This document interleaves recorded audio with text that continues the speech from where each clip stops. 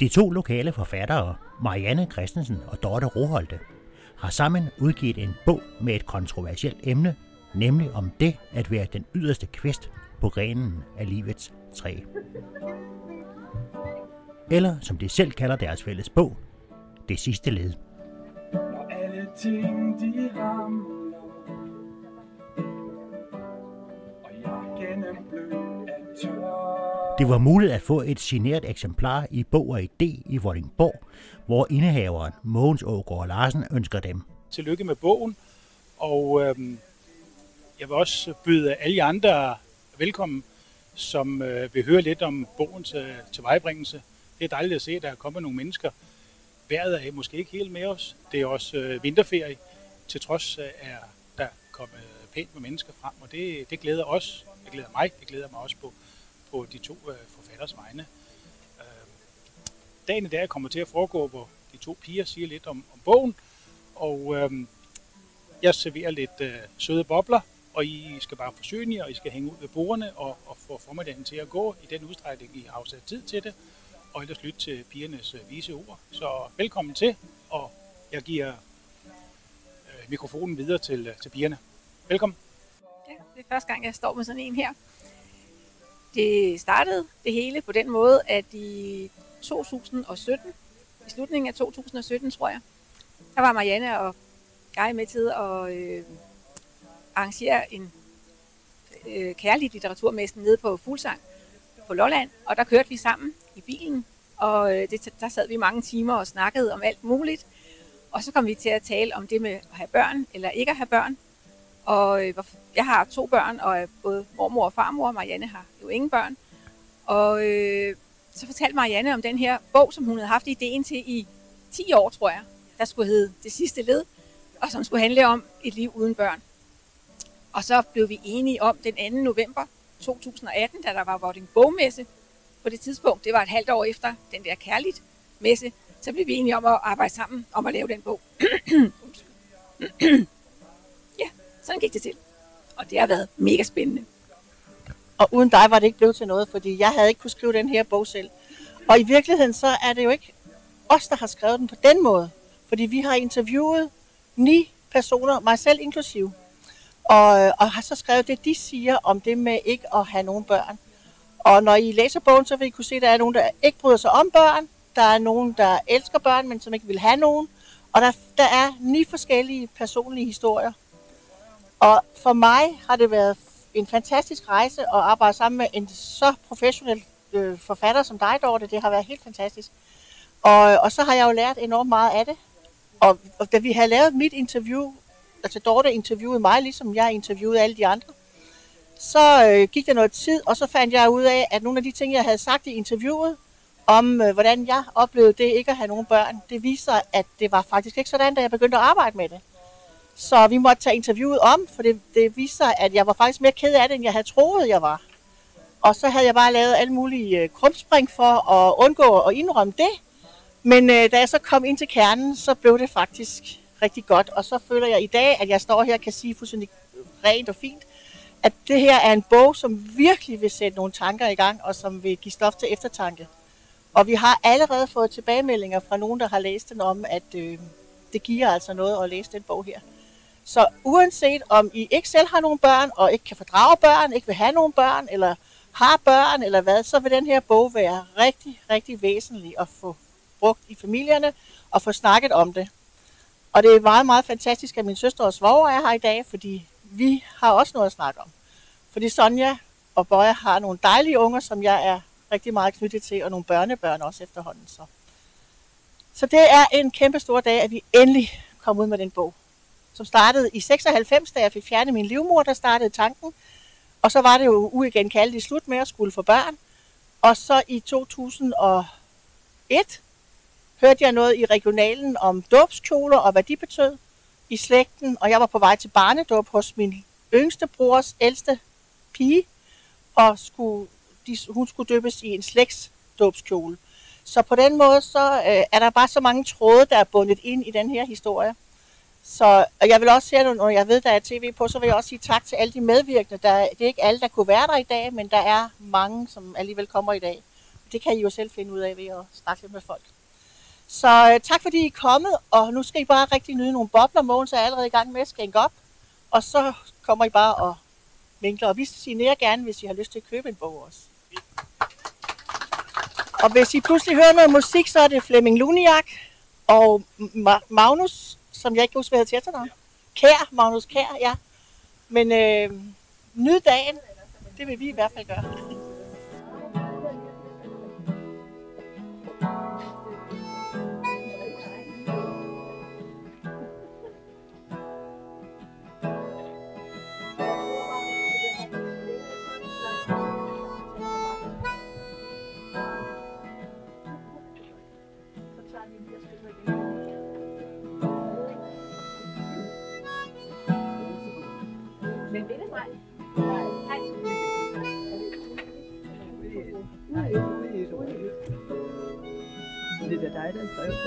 På. Jo, sammen med Dorte Rohold. Nå, ja. Hvor kommer du fra? Nyrod. Ud fra Nyråd. Hvor bor du henne? Her i Vordingborg. Change will come, and it's not gonna wait. No, it's not gonna wait. Beating drums are not gonna fade. No, they're not gonna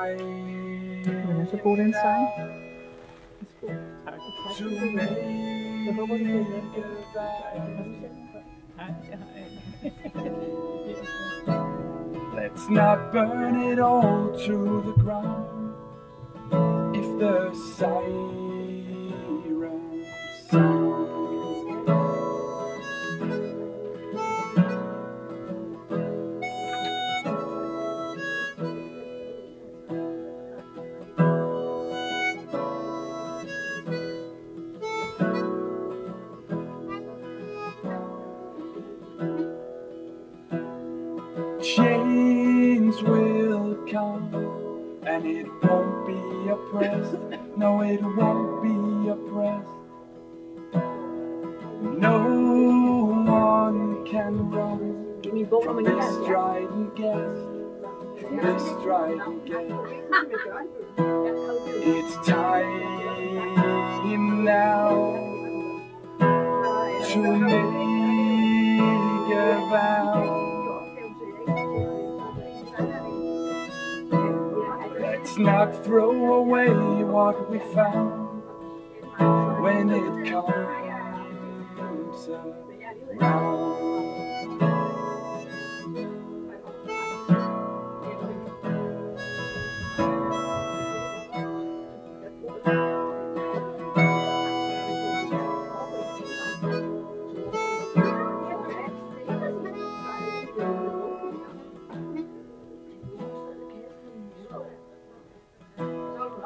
Chains will come, and I'm not gonna wait. No, I'm not gonna wait. I'll give it my all till I'm gone. Oh, love in my heart, Oh, love in my heart. It's time now to make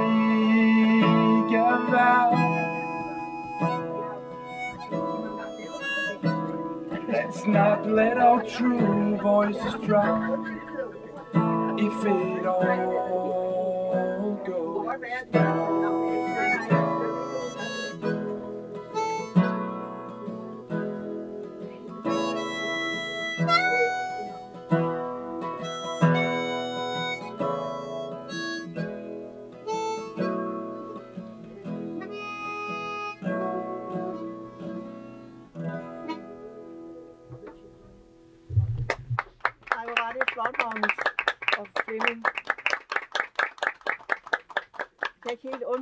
snakke lidt herover i jer? Nej, nej, nej. Det var godt koncentreret alligevel. Ja, vi snakker. Yes.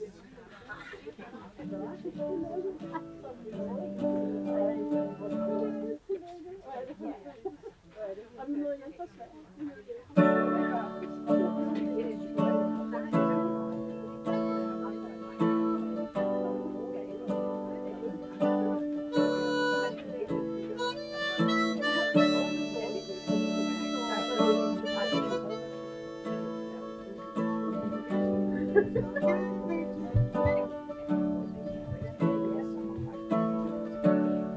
Når alle ting de ramler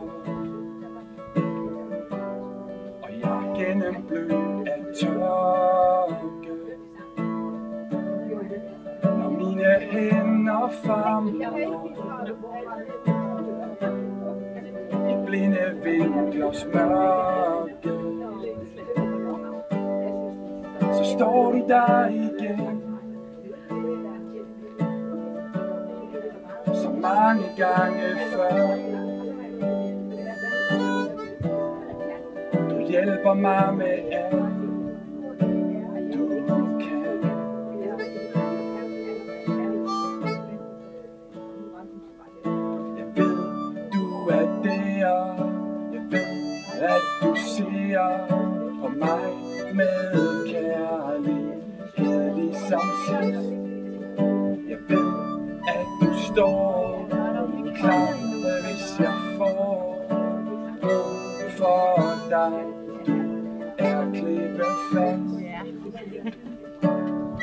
Når jeg nu ser tilbage.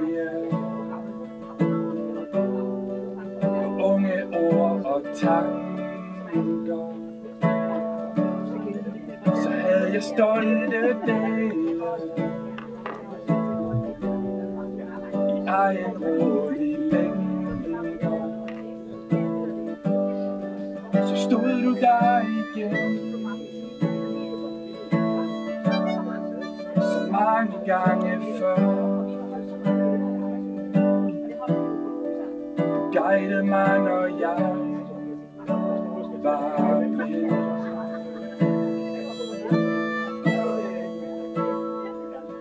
Jeg ved, du er der.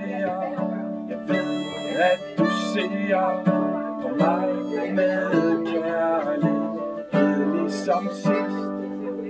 Jeg ved, at du står hvis jeg får brug for dig. Du er klippefast. Jeg ser dig stå igen. mange gange endnu. Det rører mig dybt at være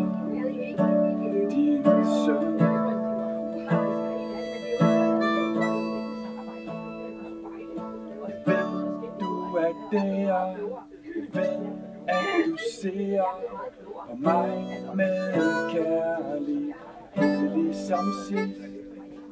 Jeg ved, at du står klar, hvis jeg får brug for dig. Du er klippet fast. Jeg ved, du er der. Jeg ved, at du ser på mig med kærlighed ligesom sidst. Står klar, hvis jeg får brug for dig. Du er klippefast. Jeg brug for dig. Du er klippefast.